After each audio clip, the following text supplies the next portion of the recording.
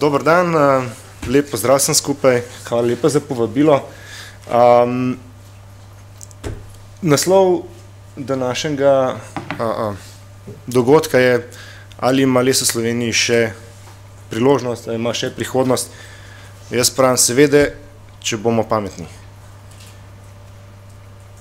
V današnjem trenutku jaz vidim v glavnem v tej naši industriji dva večja izziva.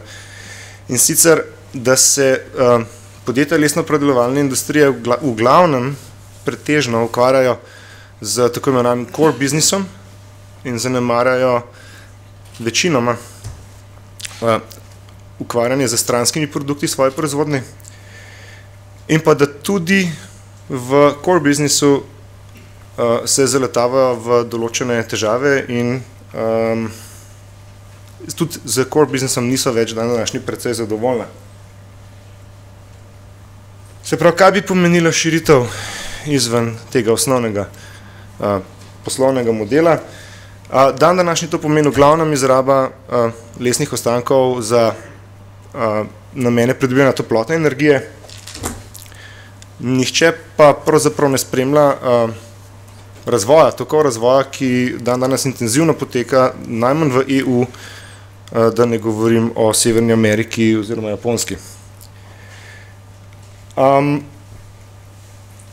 pri, ko govorimo o izzivih v, v osnovni dejavnosti, tukaj mislim v glavnem na težave pri uh, pridobivanju kvalitetne surovine na domačem trgu, uh, težave pri obvladanju stroškov, uh, težave pri uvajanju novih tehnologij, uh, da ne govorimo o novih Eh, naprednih inovativnih materijalih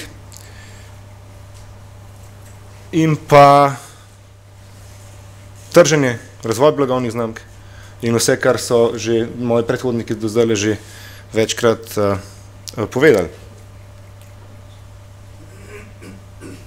Zato smo v Iltra in predvsem v podjetjih družabnikih um, to identificirali in zdaj v praksi poskušamo odpravljati in vemo, da jih bomo odpravili zdaj ali z pomočjo države, kot je že predstavnik gospodarskega ministrstva omenil, ali pa tudi brez, ker to je pač nuja, uh, ki jo podjetja pač morajo izpolniti, drugač uh, uh, verjetno ne bo nekih dolgoročnih, dolgoročne prihodnosti.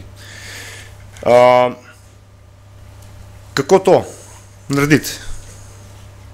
mi mislimo, da je pot v, kad smo že v praksi začeli in že uveljavljamo, povezovanje v celotni gozno-lesni predelovalni verigi, verjetno v prihodnosti tudi v sodelovanju s papirničari, obvladovati tokove eh, stranskih produktov naše proizvodne, se pravi pridelave, predelave, lesa in vsega lesa, ki prihaja iz uporabe. Poraba tega za reciklažo oziroma za tvorbo materijalov in energije, ki ima višjo dodano vrednost kot toplotna energija. Uvajanje novih visokotehnoloških naprednih materijalov, seveda. Potem pa razvoj, dizajn, testiranje in certificiranje novih produktov nekdo je že omenjal Made in Slovenija, seveda z prepoznavnim, želimo narediti prepoznavno slovensko obliko. To, kot nekdo vidi Volvo, to je švedski avto. Kitajski. Dobar, do zdaj bil, ne. Uh, želimo, da nekdo pogleda kos pohištva, leseno hišo, uh, ne vem, desko. Ne reče, to je pa v Sloveniji narejen, ne brez obladovanja okoljskih tehnologij in certificiranja tega, seveda to ne bo šlo, ne nekdo je menil FSC, pa obstaja še veliko drugih stvari, ki jih v Sloveniji niti ne razmišljamo o njih, kaj šele obvladujemo. Uh, in pa uveljaviti nove inovativne pristope k trženju. Dru, to je pa seveda una, nuje za navrh. Uh, ker to, jasno, vse znižuje stroške, povečuje dodano vrednost in omogoča konkurenčnost. Jaz upam, da bomo dovolj pametni. Hvala. Hvala. Samo še kratko vprašanje.